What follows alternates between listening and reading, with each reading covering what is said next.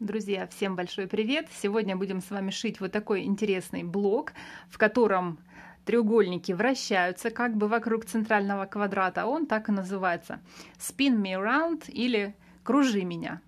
Вот будем сегодня кружиться. Я вам расскажу, как сшить такой блок любого размера. Он тоже шьется необычно, не из полосочек, как можно подумать на первый взгляд. Ну и поехали, все вам расскажу.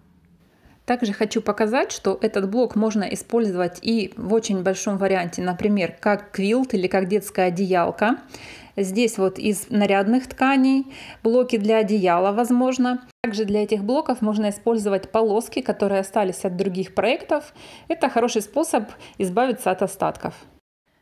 Смотрите, сам блок состоит из центрального квадратика. У меня он размером 15 на 15 сантиметров и плюс припуски. Итого весь размер сейчас этого квадрата 16,5 на 16,5 сантиметров.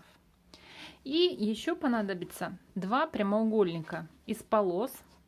Полосы могут быть любой ширины, могут быть разной ширины, могут быть одинаковой, какой угодно. Вот здесь я сшила абсолютно два одинаковых прямоугольника. Вот так вот они выглядят и их мы будем разрезать.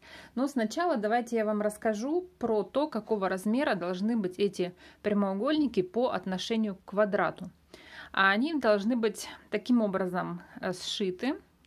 Размер квадрата умноженный на 2 – это ширина прямоугольника. И размер квадрата умноженный на 3 – это длина прямоугольника. Размер квадрата берем итоговый, то есть вот 15 сантиметров умножить на 2 это 30 сантиметров вот здесь. И вот здесь на каждой полосе еще есть припуски. То есть всего сейчас вот это у меня ширина 31,5 сантиметр. И 15 сантиметров умножить на 3 это 45 сантиметров. И здесь нам нужно добавить не как обычно по 0,75, а 3 сантиметра. То есть это 45 и 3 сантиметра. Всего получается 48. Так можно считать для любых квадратиков. Допустим, у вас есть квадратик 10 на 10 сантиметров. Значит, здесь у вас будет 20 сантиметров длина общая этого прямоугольника плюс припуски с двух сторон полтора сантиметра, итого 21,5 сантиметр. И в длину умножаем на 3, то есть это 30 сантиметров, и прибавляем 3 сантиметра, то есть припуски одинаковые для всех. Вот, теперь нам нужно эти два прямоугольника разрезать. Разрезать мы их можем как вот так, наложив друг на друга одинаково, так и перевернув мы получим то же самое. То есть, смотрите, вот я поставила уже метки, по которым мы будем отрезать. И вот они у меня и на этом тоже стоит. То есть, если я их переверну, вот у меня эти метки совпадают. И если положу ровно, то они тоже здесь совпадают с обеих сторон. А как эти метки найти, мы берем, давайте на одном буду показывать.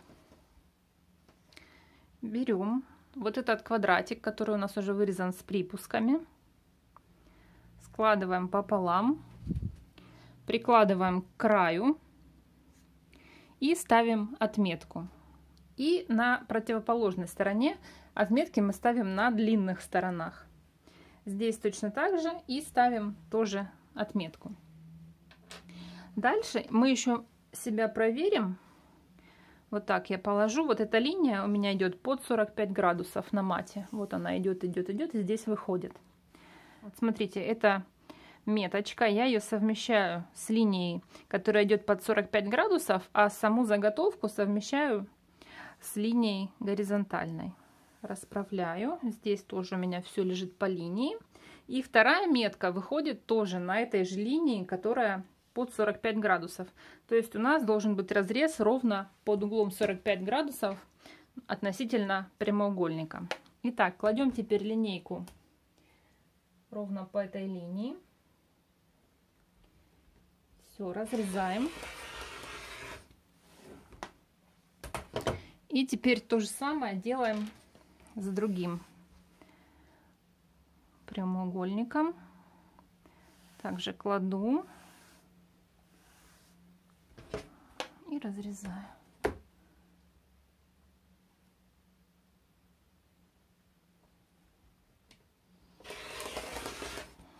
Готово. Так, и еще, наверное, стоит подрезать. Я заранее их не подровняла, но надо бы подровнять вот эти торцы, чтобы были четко ровные. Вот так. Вот что получилось. Такие вот детали. Можно их сразу вот так положить. И теперь можно выложить то, что у нас должно получиться.